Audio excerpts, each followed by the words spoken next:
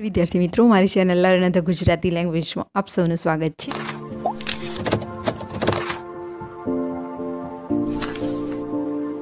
છે?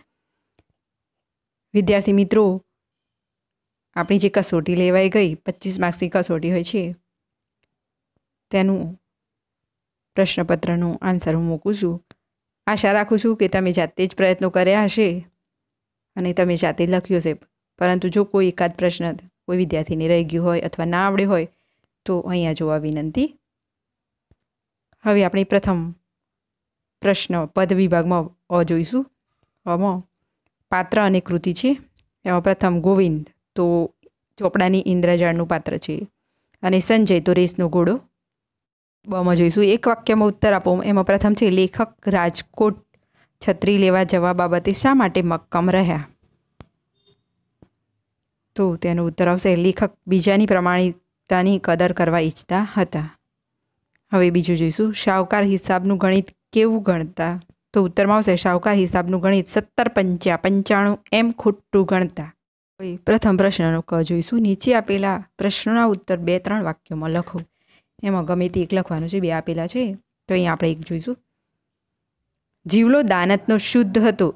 એમ શા પરથી કહી શકાય? તો ઉત્તરમાં આવશે માઠા વર્ષોમાં જીવલાની સ્થિતિ કપરી થઈ ગઈ હતી.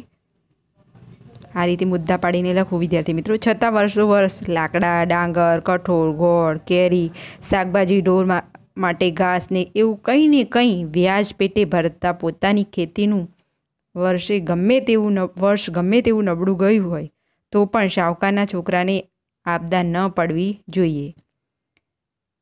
એ પણ ભાવનાથી કંઈક તો આપવું જોઈએ. એવું જીવલો માનતો. આ પરથી કહી શકાય કે જીવલો દાનતનો શુદ્ધ હતો. વધ વિભાગમાં પ્રશ્ન બે જોઈશું, એનો અ જોઈશું.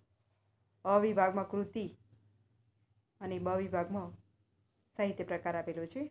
તો શિકારીને એ ઉર્મી કાવ્ય છે, ઉર્મી ગીત પણ લખેલું છે અંદર મિત્રો, પાઠ્યપુસ્તકમાં. અને દીકરી તો ગઝલ છે, તેનો સાહિત્ય પ્રકાર. હવે પ્રશ્ન બે બેમાં પ્રશ્નોના જવાબ જોઈશું. દીકરી સ્વર્ગમાં કયા સ્વરૂપે દેખાય છે? તો ઉત્તર આવશે, દીકરી સ્વર્ગમાં દેવીઓની ઝલકમાં દેખાય છે. હવે પ્રશ્ન બે. પક્ષીને પામવા કવિ શું કરવાનું કહે છે? તો ઉત્તરમાં આવશે, પક્ષીને પામવા કવિ પક્ષીના ગીતને સાંભળવાનું કહે છે. ક જોઈશું.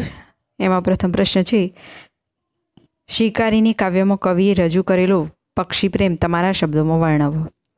તો જવાબમાં આવશે, શિકારીને પક્ષીનો સંહાર કરવાનો છોડી દેવા કહે છે. આવી ક્રૂરતા શોભા દેતી નથી. પક્ષીઓને શાંતિથી સાંભળવાનું કવિ કહે છે, તેનાથી પક્ષીના મધુર કલરવનું સૌંદર્ય માણવા મળે છે અને પક્ષી તેના પ્રભુ સાથે તેના, તારા હૈયામાં વાસ કરશે. શિકારીને પક્ષીનો શિકાર કરવાનું નાક પાડે છે. પ્રકૃતિ સૌની છે, જેથી પક્ષીને પણ મુક્ત રીતે વિહરવાની, ફરવાની તેને પણ મજા આવવી જોઈએ. પક્ષીનો સંહાર એ પરમાત્માનો સંહાર બરાબર છે. વ્યાકરણ વિભાગ જોઈશું, જોડણી સુધારોમાં સુરાતન, તો તેની જોડણી આ પ્રમાણે થાય છે, સુરાતન. ખાતરી, તો ખાતરી આ પ્રમાણે થાય છે. હવે બે જોઈશું, જોડણી ભેદ અને એટલે કે અર્થભેદ આપો. અફળ તો અચલ, નિશ્ચલ ફરે નહીં એવું અને અફળ તો નિષ્ફળ નકામો પણ થાય મિત્રો. ત્રણ જોઈશું, સંધિ છોડોમાં સૂર્યોદયની સંધિ છે, સૂર્ય વત્તા ઉદય. અને ચાર નંબરમાં સમાસ ઓળખાવો, દશાનન. આ સમાસમાં ઘણીવાર વિદ્યાર્થી મિત્રો ભૂલ કરે છે, કારણ કે આગળ સંખ્યા દસની આપેલી છે, તો કન્ફ્યુઝ થઈ જાય છે.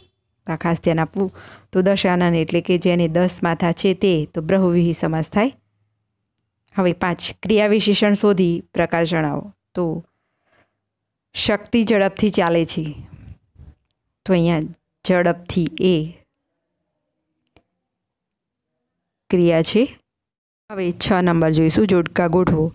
અવિભાગ અને બ વિભાગમાં કર્તરી વાક્ય અને કર્મણી વાક્ય કરવાનું છે. એમાં ત્રણ ઓપ્શન આપેલા છે. તો પ્રથમ છે કર્તરી વાક્ય. તો કર્તરી વાક્ય, અમે જીવલાના ઘરે પહોંચ્યા.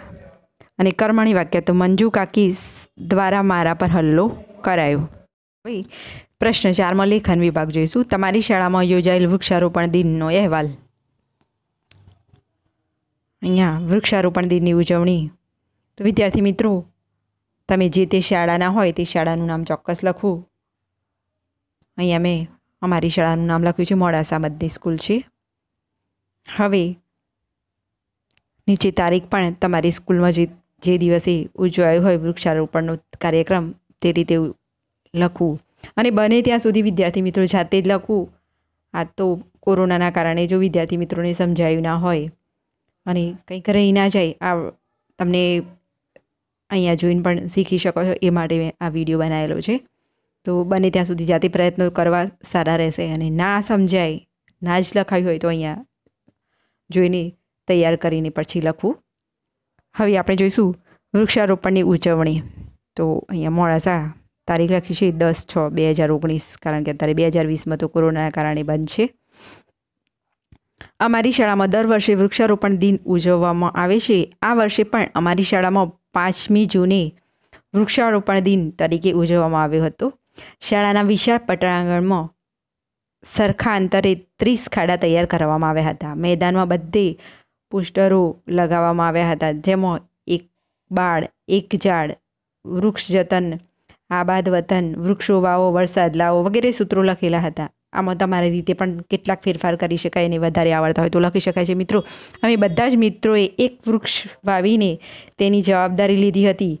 રોજ પાણી રેડવું અને તેની માવજત કરવાનું કાર્ય કરતા હતા.